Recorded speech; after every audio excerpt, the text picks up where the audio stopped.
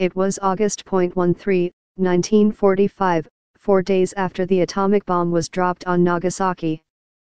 Japan had suffered unimaginable destruction, but Emperor Hirohito refused to surrender.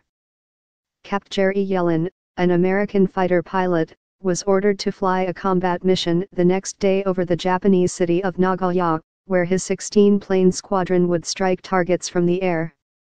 As his military unit was briefed on its assignment, Yellin's wingman, a 19-year-old named Phil Schlamberg, leaned over and told Yellin he had an inexplicable feeling he was going to die.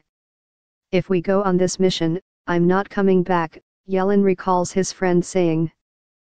Despite those doubts and no matter how close the end of war seemed Schlamberg refused to abandon the mission.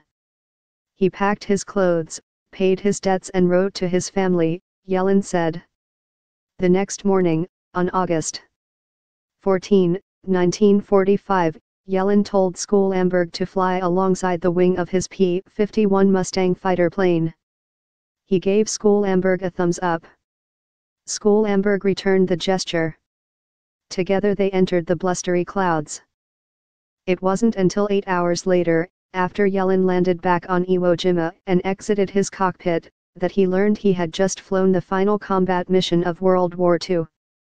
The news was a bitter relief, Japan had surrendered and the war was over. But the surrender was announced three hours before the planes would descend over Japanese land and begin striking targets. Word that the war was won had not reached the pilots, who had listened for the code word Utah to abort their mission. The command never came. The savage fight for Guadalcanal, jungle, crocodiles and snipers during World War II. Schlamberg, Yellin said, would be the last man killed in combat in World War II. All Yellin knows is that Schlamberg's plane disappeared into a cloud bank. There was no radio call, no visual fire, no sighting of Japanese planes. Now, at age 93, Yellin recalls those moments of the final combat mission with vivid clarity. The sounds and sights of war never leave you, he says. He is among the few World War II veterans still alive to recount their stories, a sign that a world without them is approaching. As of 2014, only 1 million veterans witnessed the 70th anniversary of the D-Day landings at Normandy.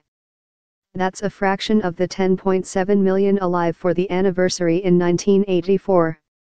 Yellin was a 17-year-old in Hillside, NJ, working at a steel mill in December 1941. He had graduated high school that year with a scholarship to college but postponed his entrance to the spring so he could save up some money. His plans for the coming years took a sharp detour when news broke that a Japanese fleet of almost 200 aircraft waged a surprise attack on the U.S. naval base at Pearl Harbor in Hawaii, destroying the U.S. Navy battleship USS Arizona within 30 minutes.